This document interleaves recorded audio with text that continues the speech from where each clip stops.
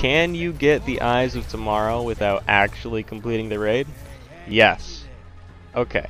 So I don't know if it's an Easter egg, a glitch, I don't know.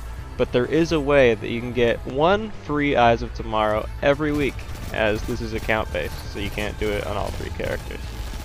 But basically, you have to be alone, and you're going to want to start up the Deep Stone Crypt raid located in the Europa map.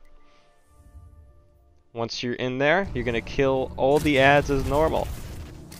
But do not die. If you die, back out and restart it.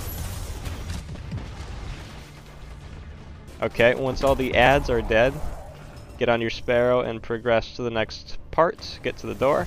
But when you're out the door, don't carry on to the next bubbles. What you want to do is destroy all the original pikes that are there. But only the original ones. Once you once you destroy them, they're gonna respawn. Do not destroy the respawned pike. That'll mess it up, you have to restart. You could damage him if you shoot him a few times, that's okay, but do not destroy him. Only destroy the six original pikes. Once those are destroyed, progress to the next bubble.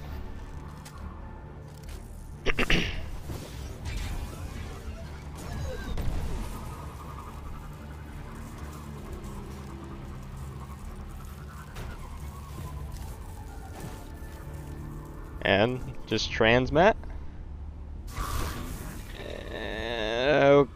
Okay, it did not work. I'm going to try it one more time.